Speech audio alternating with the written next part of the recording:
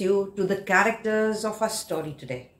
Lord Shiva, who lives in Mount Kailasha, is also known as the destroyer of evil. His wife Parvati, their two sons Ganesha and Kartikeya.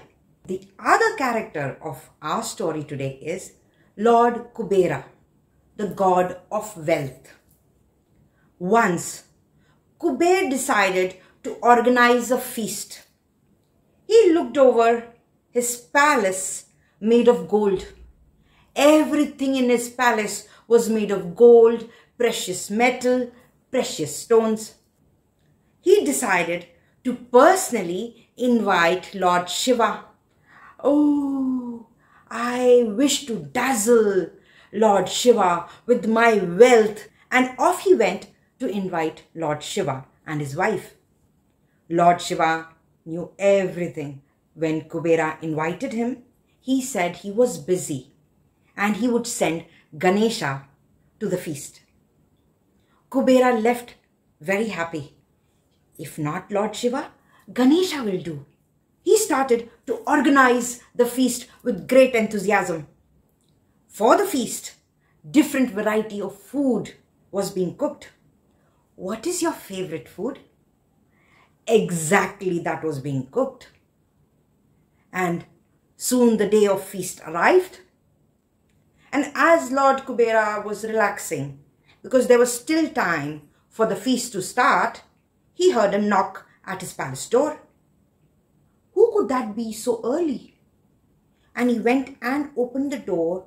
What does he see? Our little Ganesha.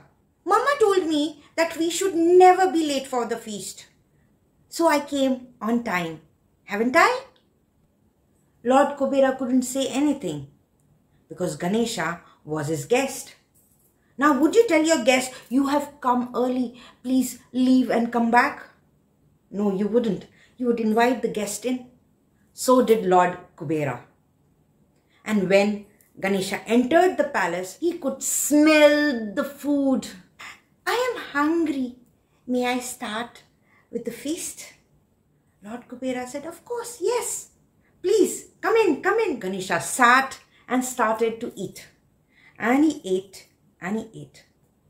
Ganesha was so hungry.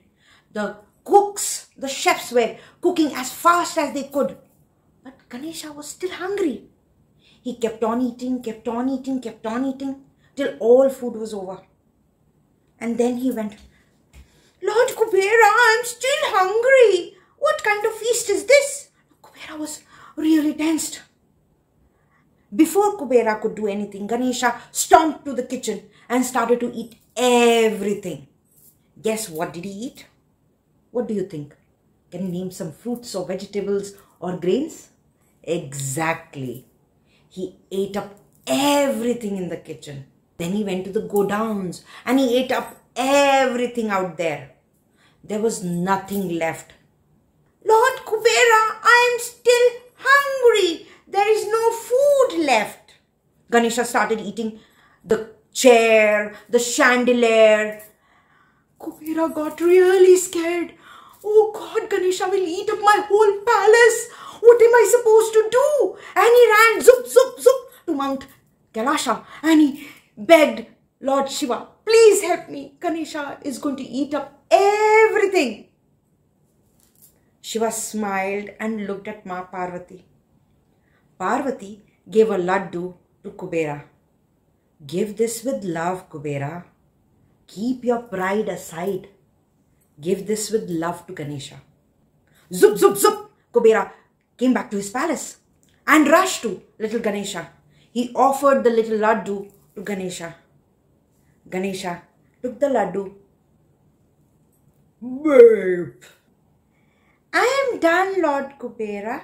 I am no longer hungry. Now may I go? Kubera said, Okay, okay, Lord Ganesha, okay. And Ganesha left. Didn't Ganesha teach a good lesson to Lord Kubera in his own little ways? by eating up everything? This brings us to the end of the story.